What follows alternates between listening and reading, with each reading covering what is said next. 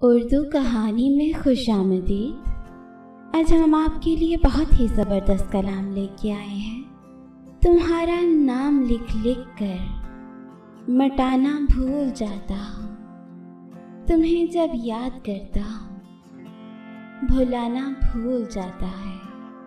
बहुत सी ऐसी बातें हैं जो मेरे दिल में रहती हैं, मगर जब तुमसे मिलता हूँ सुनाना भूल जाता हूँ।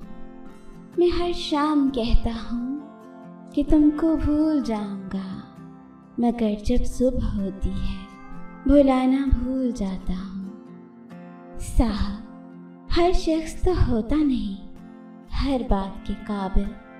हर शख्स को हर बात बताया नहीं करते।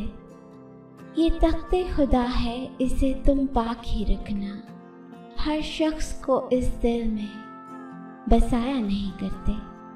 खामोशियों को जो तेरी खातिर में न लाए, उस शख्स पे अल्फाज को ज़ाया नहीं करते। ज़िंदगी के कुछ सच आपके साथ शेयर करने वाले हैं। आँसू जता देते हैं, दर्द कैसा है? बेरुखी बता देती है हम दर्द कैसा है? घमंड बता देता है कि कितना पैसा है। तमीज़ बता देती है, ख़ानदान कैसा है। बातें बता देती हैं, इंसान कैसा है। बहस बता देती है, बेवकूफ़ कितना है। ठोकर बता देती है, ध्यान कितना है। नज़रें बता देती हैं, नीयत कैसी है। मेरी डायरी से कुछ अल्फाज। उसने दिल का हाल बताना छोड़ दिया। हमने भी गहराई में जाना छोड़ दिया। जब उसको ही दूरी का एहसास नहीं, हमने भी एहसास दिलाना छोड़ दिया। हमने कहा, रास्ते हैं दुश्वार बहुत उसने तब से साथ निभाना छोड़ दिया।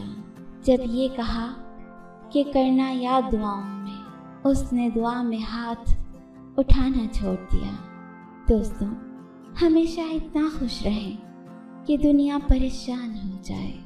मुझको मेरी शिकस्त की दोहरी सज़ा मिली। तुझसे बिछड़ के ज़िंदगी दुनिया से जा मिली। हुस्न ही ले डूबा था फ़कत यूसुफ को। भला पैगंबर भी बाज़ारों में बिका करते हैं। खुदा से मैं कहूँगा कि रहम कर मालिक मैं तेरे मानने वालों को झेल आया हूँ। और फिर घर के लाडलों के ही मुकद्दर अक्सर ख़राब होते हैं। जानते हैं, सुबह जल्दी सिर्फ़ चार चीज़ें उठाती हैं। मोहब्बत, माँ, मेहनत और मजबूरियाँ। मोहब्बत नहीं थकाती।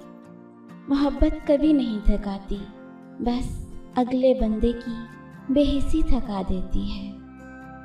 एक गलत इंसान से मोहब्बत का तलख तजर्बा आपकी ज़िंदगी की सारी मिठास ख़त्म कर देता है। किसी ने मुफ़्त में पाया वो शख्स जो हर कीमत पे मुझको चाहिए था। आखिर मजबूरियों की फतह होती है। मोहब्बतें तो हमेशा हार जाती हैं। मुनाफिक लोग धक्का देकर नहीं, सहारा देकर गिराते हैं। जिनके दिल नर्म होते हैं ज़िंदगी उनके साथ उतनी ही सख्ती से पेश आती है। बुरे नहीं थे, लेकिन हमेशा हर किसी ने बुरा समझा। हम जो सच में ख़राब होते तो सोचो कितने फसाद होते। अख्तलाफात पर सब्र करना और दूसरों को बर्दाश्त करना ही अखलाक है। जनाब, हर रिश्ते में गलतियाँ तो होती हैं, मगर गलतियों पर समझाया जाता है। रिश्ता नहीं तोड़ा जाता। अगर कोई किसी के जज्बात के साथ खेल कर खुद को तेज तरीन शख्स समझता है तो वो तेज तरीन नहीं, बल्कि घटिया तरीन इंसान है। माफ़ी उतनी ही खूबसूरती से मांगनी चाहिए, जितनी बदसूरती से उसका दिल दुखाया हो। लोग खालिश होना पसंद नहीं करते, लेकिन तलाश हमेशा मुखलस लोगों की किया करते हैं। ज़िंदगी के हाथ नहीं होते लेकिन बाज़ात ऐसा थप्पड़ मारती है कि सारी उम्र निशान नहीं जाते और जब इंसान अच्छे लोगों से भी डरने लगे तो समझ लें किसी ने एतबार नहायत सलीके से तोड़ा है। उम्मीद है कि आपको कलाम पसंद आया होगा। पसंद आया हो तो लाइक कीजिए शेयर कीजिए और चैनल को सब्सक्राइब कीजिए। शुक्रिया।